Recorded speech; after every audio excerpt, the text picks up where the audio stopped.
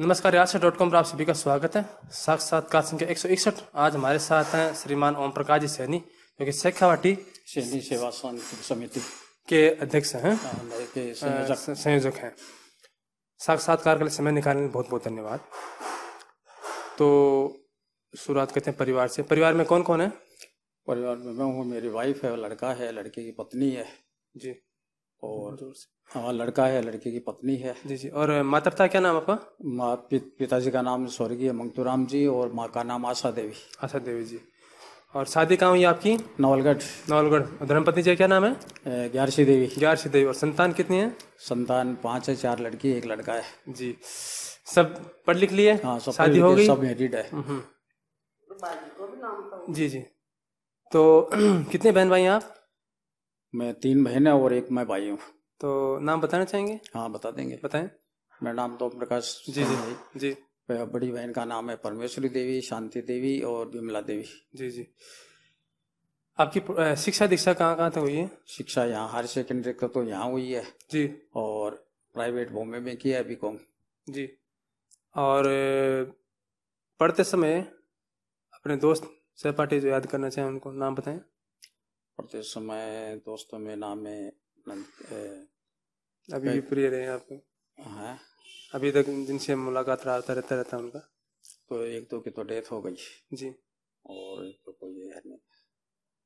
कोई एक डॉक्टर है मुरारी लाल चुड़ीवाला हम्म। आनंद किशोर चुड़ीवाला वाला और विनोद सुरेखा राम स्वरूप बजाज ये सब दोस्त और जो गुरु जी प्रिय रहे आपको उस समय?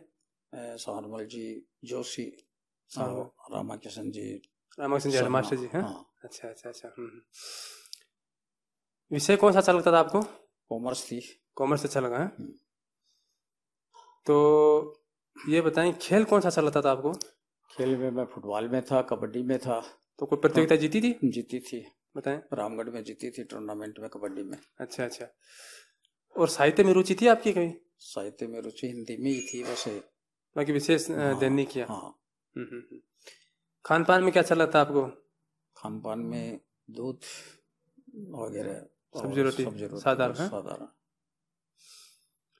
कोई फ़िल्में वगैरह देखते हैं? फ़िल्में बहुत कम देखता था मैं फ़िल्म का खुद प्रोड्यूसर रहा हुआ हूँ। अच्छा। हम्म, विमला फ़िल्म से मेरा इम्पाक में रजिस्टर्ड था। हम्म, हम्म, हम्म, हम्म। Indian motion picture producer association में। तो आप किस किस नायक से ज़्यादा प्रभावित रहे हैं? धर्मेंद्र से धर्मेंद्र के घर भी गया था सुनील दत्त भी मैं प्रोग्राम देता था वहाँ पर। अच्छा अच्छा। कल्याण जी आनंद जी नाइट मैंने करवाई थी वहाँ बॉम्बे में। हम्म, हम्म। उसमें ये आपका सुनील दत्त भी आया था। सब उस समय लड़के छोटे छोटे थे संजय दत्त वगैरह। हाँ छोटा था। तो उनको अंगुली पकड़ के लेके आए थे वो। और धर्मेंद्र के घर में भी खाना खाया है। धर्मेंद्र के घर में दो तीन बार गया हुआ भी हूँ। वो तो बुढ़े हो गए ना? हाँ। तो नायिका कौन सी अच्छी लगती थी आपको?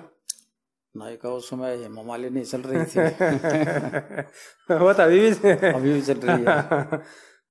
उनके चाहने वाले और उम्र दराज सारे बुढ़े हो गए ना? हाँ सारे बूढ़े हो गए। वो अभी भी वैसे ही है ना? हम्म। हम्म। तो प्रोड्यूसर किस प्रोड्यूसर से आप ज़्यादा प्रभावित रहे? इसका कार्य कार्यशैली आपको ज़्यादा अच्छी लगी? Chopra. B R B R Chopra. B R Chopra का लेटर भी था मेरे पास में अभी तो नहीं है। बी आर चोपड़ा से प्रभावित है। तो ए, फ़िल्म इंडस्ट्री में घुसे फिर बाहर कैसे निकले? बाहर में तो आर्थिक स्थिति घाटा हो गया। हाँ, बाहर निकले। मैं अकेला था। जी जी। मैं मेरा बैकग्राउंड तो कोई था ये नहीं चीज़ ऐसी है। सारे कार्यक्रम मैंने मेरे बलबूते पर किए ये पैसे खींच ले जाते हैं सारे ना? हाँ पैसा खींच लेते हम्म, हैं इंडस्ट्रियल में धोखा भी जाता है। धोखा भी जाता है ना? हाँ, इसमें पूरा ग्रुप चाहिए ग्रुप संभालने के लिए। दो चार स्पॉन्सर चाहिए ना? तब बात मैं, बनती मैं स्टेज प्रोग्राम देता था ये नीलोफर जो है अपने स्टेज से निकली हुई है है। जी जी जी। मारवाड़ी पिक्चरों की जो हीरोइन है नीलोफर वो मेरे स्टेज से निकले ये भी मिली हुई है उससे। अच्छा अच्छा। मेरी पत्नी भी मिली है उससे। हाँ हाँ। नीलोफर से क्यों मैं प्रो स्टेज प्रोग्राम सेट करता था। वो तो कई सालों तक पिक्चरों में उसने किया। जब बच्चा था तो बड़ा होगा तब तक वो ऐसी थी वो भी। हाँ अभी भी हुई है तो मोटी हो हाँ, गई मोटी हो गई पहले वैसी थी। हाँ। तो ये बताएँ कि आजीविका के लिए क्या किया आपने? आजीविका के लिए मैंने शटिंग शूटिंग की मार्केट में सेल परचेज किया। जी जी। और कौन सी कंपनी का? वहाँ लोकल कंपनियाँ जी थी जी जी जी उनका कितने साल किया? तीन चार चार पाँच साल किया। और बम्बई में? हाँ बम्बई में। कैसा लगा बॉम्बे में रहन अच्छा लगा। तो- बम्बई से पहले कलकत्ता था। अच्छा। कलकत्ते में नमक का बिज़नेस किया। मरता हुआ शहर बोल रहे हैं कोलकाता को। क्योंकि वहाँ किसी जमाने में खूब आबादी मशीनें कलकार कारखाने थे बाद में बम्बई शिफ्ट हो गए सारे। हाँ शिफ्ट हो गए वहाँ। तो अभी कलकत्ता और बम्बे में कितना तुलनात्मक फ़र्क देखते हैं आप? बिज़नेस के हिसाब से बॉम्बे एक नंबर पर है। जी। तो कलकत्ता में तो हमारे मारवाड़ियों का बड़ा ही होल्ड है। ना? अच्छा होल्ड है मारवाड़ियों का बड़े बाज़ार में। अच्छा होल्ड है।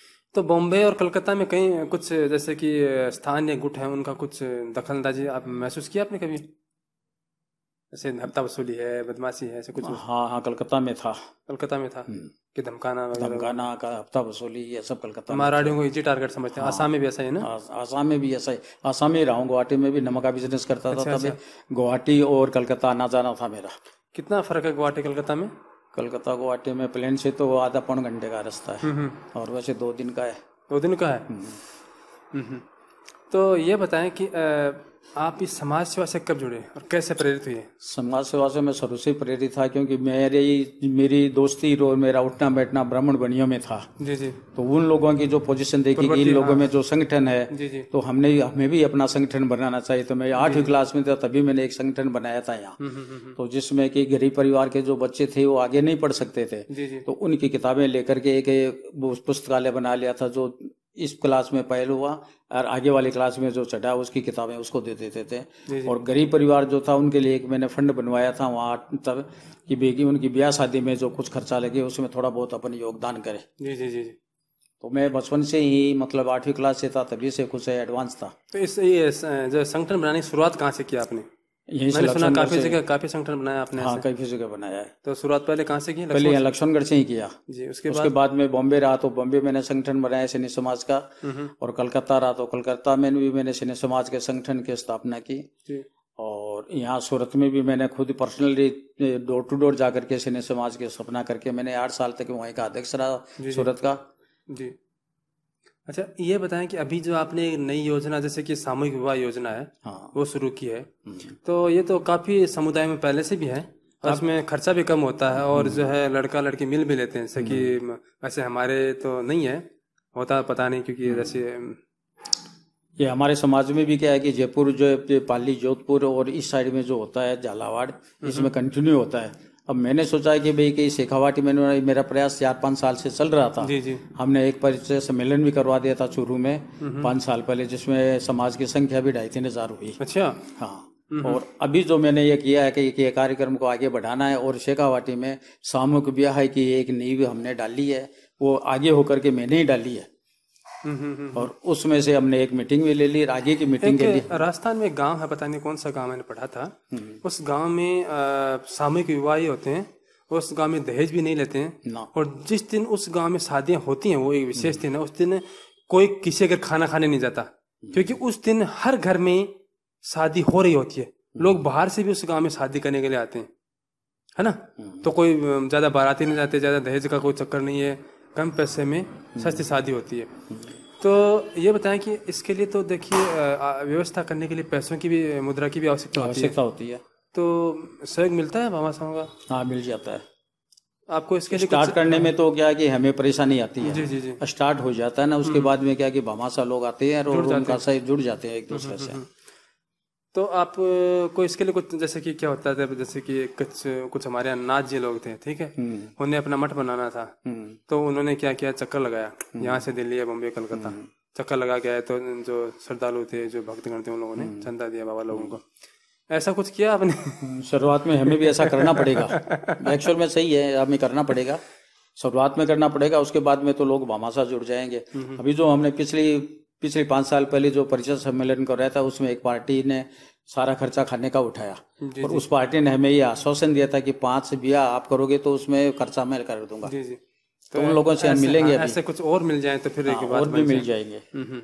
जुड़ते हैं। तो इस सामूहिक विवाह की खास बात क्या है? खास बात है लोग ज़्यादा प्रभावित हों ज़्यादा आए ज़्यादा जुड़े। बताएँ क्योंकि आज एक शादी करते हैं तो मिनिमम कम से कम आठ लाख से दस लाख रुपया खर्च होता है एक शादी पर। होता है। और हमें लड़की से लड़के वालों से लेते हैं ग्यारह हज़ार। रुपये। और लड़के वालों से इक्कीस हज़ार रुपये में शादियाँ करवा देते हैं। हम्म, हम्म। उनका कुछ नहीं लगता लड़की को देते हैं सब कुछ है। कूलर भी देते हैं मशीन भी देते हैं सब कुछ देते हैं वो सब हमाशा लोग देते हैं। जी जी जी। तो उनको सस्ता पड़ जाता है सबके तो व्यवस्था जो है व्यवस्था करने के लिए क्या होता है? जैसे कि पंडित है हलवाई वाला है है ना? और बाजे वाला है कोई फूल फूल माली जो भी है। तो ये स्थायी फिर स्थायी हम्म, बनाने पड़ते हैं आपको ना? स्थायी हो जाते हैं स्थायी हो जाते हैं। और वो स्थायी होते हैं तो पैसा भी कम लगता है। कम लगता है और हमें शादी भी एक स्थायी फिक्स करनी पड़ती है ऐसा कोई भवन है? जगह कौन सी भवन है? अभी तो सैन्य समाज का है सीकर में। सिक्किम में वहाँ करवाए? हाँ। तो लक्ष्मण लक्ष्मण में भी है कोई ऐसा स्थान? है ना स्थान तो है। अभी करवाया नहीं है अभी स्टार्ट किया है हमने। हो जाएगा। हाँ हो जाएगा। तो इसके लिए जो आप बीड़ा उठाया आपने हम्म, लोगों का सहयोग मिले आपको और लोग ज़्यादा से ज़्यादा आपको दान दें और जुड़े इससे। हम्म। इसके लिए कोई नंबर बताना चाहें? कोई जगह बताना चाहें जिससे आप लोग संपर्क कर सकें आपसे? मेरा नंबर है और शिकर का भी नंबर है शिकर से भी संपर्क दोनों बता दीजिए। हम्म, मेरा तो है nine six six seven nine six nine six six seven nine two one seven nine seven. One seven nine seven. Om Prakash Saini. हम्म। ठीक। अच्छा और पता है? हाँ। गौशाला के सामने। गौशाला के गौशाला रोड और गैस एजेंसी के पास। हम्म, हम्म।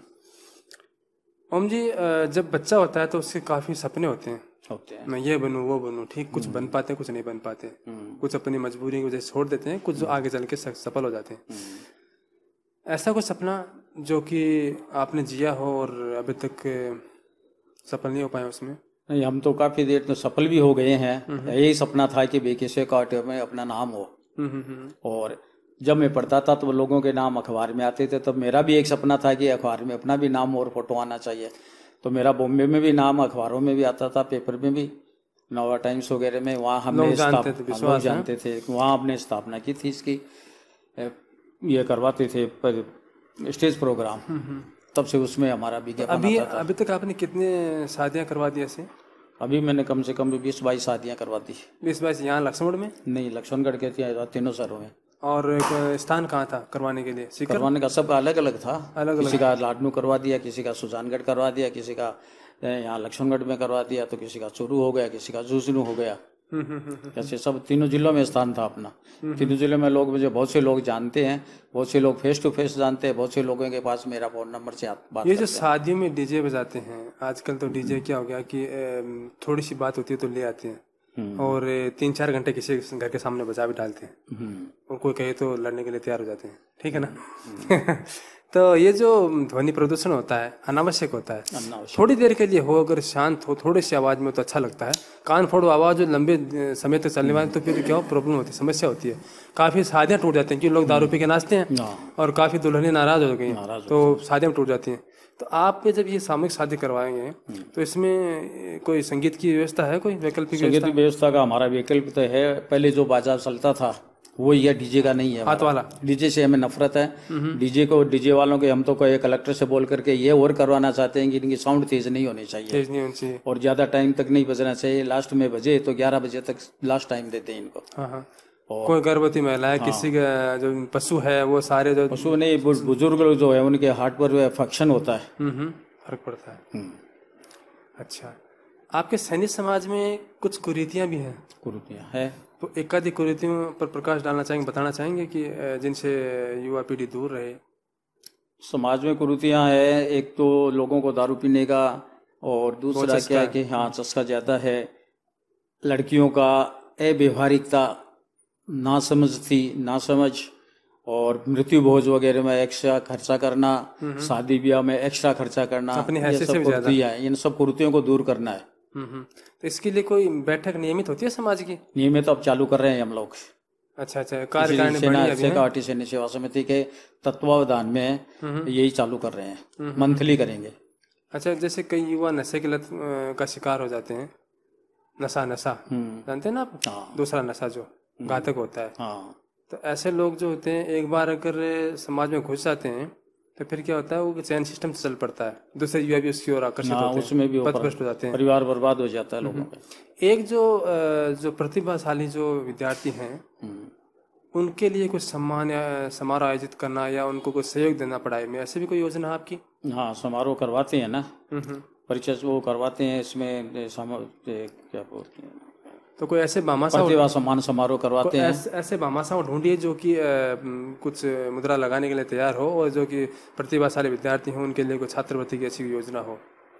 दे रहे हैं यहाँ हमारे लक्ष्मणगढ़ में तो एक पार्टी दे रही है वो किताबें दे रही है गिरधारी लाल राक्षिया अच्छा और वो फ्री किताबें दे रही है बच्चों को पढ़ने के लिए। और जो ये नोटबुक है वो पंद्रह प्रतिशत कम के हिसाब से गरीब बच्चों को दे रहे हैं। दे रहे हैं दे रहे हैं। हाँ मैंने बाबूलाल जी पत्रकार की तरफ़ से एक वो सूचना भी पड़ी थी उसमें हाँ। कि सैनिक समाज के लोगों के लिए छूट है ना? हाँ। हम्म तो अपने समाज के भाइयों के नाम संदेश। संदेश ये संदेश यही है कि सब मिलजुल करके रहें और सबसे ज़्यादा कम्युनिटी को ये होना चाहिए कि सामंजस्य बैठाना चाहिए आपस में। एक दूसरे की टांग खिंचाई बुराई नहीं करनी चाहिए बुराइयाँ हैं उनको दूर करने चाहिए जो अपने परिवार से स्टार्ट करना चाहिए आदमी को। जिससे अपना परिवार सुधारे फिर अगला अगला सुधारे मोहल्ला सुधारे फिर गाँव सुधारेगा सुधरेगा। शुरुआत परिवार परिवार परिवार से होनी चाहिए। ठीक है ओम प्रकाश जी आपने बहुत ही शालीनता से और गंभीरता से और अच्छे मनोयोग से साक्षात्कार दिया है। और जो लक्ष्य आपने लिया है जो साधना आपने शुरू की है सैन्य समाज में कुरीतियों का उन्मूलन है या जैसे कि सामूहिक शादी का है ठीक है? मैं ये प्रार्थना करूँगा कि आप इस लक्ष्य में सफल हों और लोग आपसे जुड़े लोगों का आपको सहयोग मिले ठीक है? तो दिनों दिन जो है ये आपका संगठन और मजबूती ग्रहण करें ठीक है? साक्षात्कार के लिए बहुत बहुत धन्यवाद। धन्यवाद सर